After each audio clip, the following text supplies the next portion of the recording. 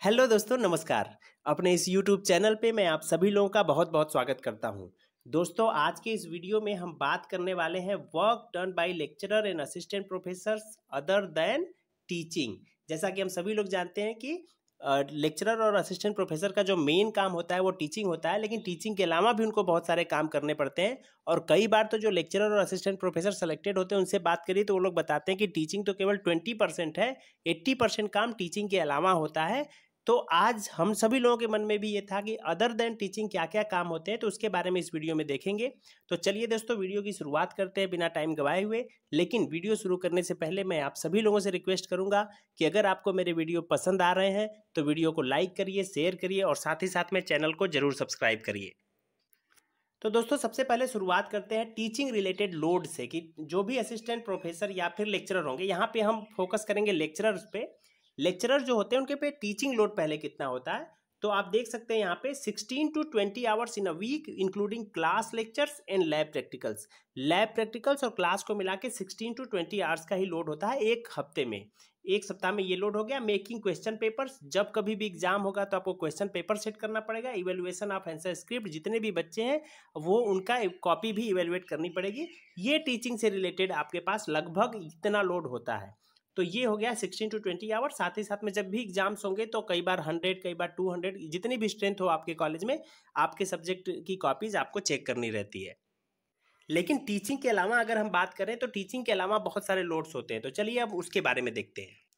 तो सबसे पहला काम तो दोस्तों है इंचार्ज ऑफ़ लैब आप देख सकते हैं कि हर जो कि हम लोग पॉलिटेक्निक में या पॉलिटेक्निक लेक्चरर या फिर असिस्टेंट प्रोफेसर की बात कर रहे हैं, वो भी बीटेक कॉलेजेस में।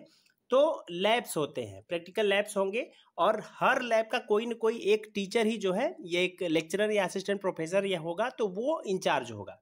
अब आप लैब के जब इंचार्ज बनते हैं तो कुछ रोल्स एंड रिस्पॉन्सिबिलिटीज आपकी होती है, जो कुछ वर्क आपको रेगुलर बेसिस पे करना होता है।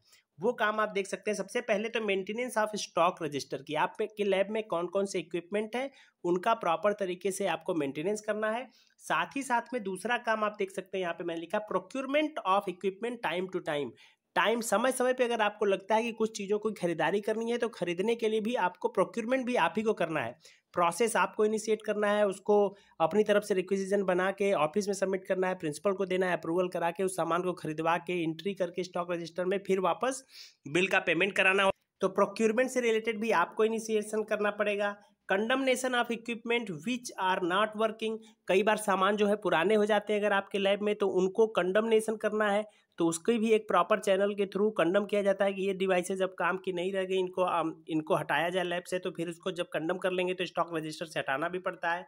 और साथ ही साथ में अगर कोई नया चीज़ आप खरीद रहे हैं या मेंटेन करा रहे हैं लैब के सामान को तो sending the bill to the next stage for final payment उसका पेमेंट कराने के लिए भी आपको अपने स्टॉक रजिस्टर में एंट्री कराने के बाद आगे भेजना पड़ता है, ताकि वो पेमेंट हो सके जिस, जिसके बदले में, यानी आपके लैब में जो भी वर्क हुआ है, उसके बदले में पेमेंट हो सके। तो दोस्तों, ये तो काम रहा जब आप किसी भी एक या दो लैब के इंचार्ज बन जाते हैं। और लैब भी कई बार कम से कम एक तो मिलता ही है सभी टीचर्स को, कई बार दो दो भी मिल जाते हैं डिपेंडिंग अपॉन कि आपके कॉलेज में जहाँ पे आप हैं, वहाँ फैकल्टी कितनी है। अगर फैकल्टी सफिशियंट है तो एक एक लैब मिलता है। कई बार फैकल्टी सफिशियंट नहीं है तो फिर दो दो लैब के भी इंचार्ज तीन तीन लैब के भी इंचार्ज बनने पड़ते हैं। नेक्स्ट है डिपार्टमेंट इंचार्ज एक्चुअली किसी भी कॉलेज में जब आप जाते हो तो वहाँ पे बहुत सारे डिपार्टमेंट्स भी होते हैं। आई होप कि आपको ये दिख रहा है क्योंकि मुझे दस डिपार्टमेंट, जो मेन दस डिपार्टमेंट्स होते हैं लगभग, ये कॉलेज टू कॉलेज डिपेंड करता है, उन अलग अलग भी हो सकता है, उनके नाम भी अलग अलग हो सकते हैं। लेकिन जो नॉर्मली कहा जाता है, वो मैंने नोट किया है। तो सबसे पहले एकेडमिक इंचार्ज कोई न कोई टीचर को ही, किसी न किसी लेक्चरर को ही एकेडमिक इंचार्ज बनना पड़ेगा, किसी को एग्ज़ाम इंचार्ज बनेगा, किसी को ट्रेनिंग एंड प्लेसमेंट ऑफिसर बनना पड़ेगा, या ट्रेनिंग एंड प्लेसमेंट इंचार्ज कह लीजिए बनना पड़ेगा। कोई डिसिप्लिन इंचार्ज बनेगा, वो देखेगा कि कहीं कोई बच्चे बदतमीजी तो नहीं कर रहे हैं या फिर शरारत तो नहीं कर रहे कहीं तोड़ फोड़ तो नहीं हो रहा है। टाइम टेबल इंचार्ज बनेंगे जो कि टाइम टेबल बनाएँगे और इंटर डिसिप्लिनरी भी बनाना पड़ेगा। मतलब इंटर ब्रांचेज में आपको जाके, आप सिविल के हैं, फिर मैकेनिकल का, फिर इलेक्ट्रिकल के जो कॉमन सब्जेक्ट हैं, उनका भी तैयार करना पड़ेगा कि कैसे बनाया जाए कि एक ओवरलैपिंग ना हो।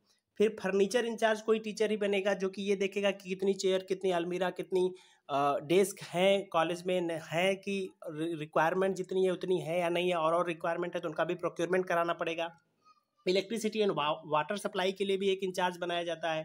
इन्वायरमेंट एंड क्लीनलीनेस के लिए जो कि पूरे कैंपस के ग्रीन ग्रीन ग्रीन है कि नहीं या कह सकते हैं कि इन्वायरमेंट पे ध्यान देगा और उसके क्लीनलीनेस पे भी ध्यान देगा। और स्पोर्ट्स और सी सीसीए को curricular activities as well as sports का भी एक इंचार्ज होगा, जो इन सब कार, कामों पे ध्यान देगा और लाइब्रेरी इंचार्ज भी होगा। इसके अलावा भी बहुत सारे डिपार्टमेंट्स होते हैं। ये कुछ मेन डिपार्टमेंट मैंने नोट किए हैं, जो कि मुख्यतया लगभग हर कॉलेज में ही होते हैं। एक दो चीज़ें हो सकता है, मुझसे छूट भी गई हो। इसके अलावा इसके अलावा और भी काम होते हैं, लेकिन अब चूँकि मैं हर एक डिपार्टमेंट का अलग अलग काम इस वीडियो में नहीं बता सकता, क्योंकि वीडियो बहुत ही लंबा हो जाएगा दोस्तों तो ये समझिए कि ये इंचार्ज बनेंगे।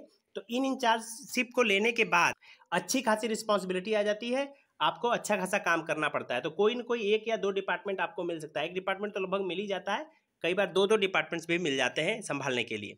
नेक्स्ट अगर हम बात करें तो अदर वर्क्स में आप देख सकते हैं, अगर आपके यहाँ बीटेक कॉलेज है, वहाँ पे बच्चे रह रहे हैं या पॉलिटेक्निक कॉलेज है, वहाँ पे बच्चे रह रहे हैं, हॉस्टल है तो हॉस्टल वार्डन आप बनेंगे।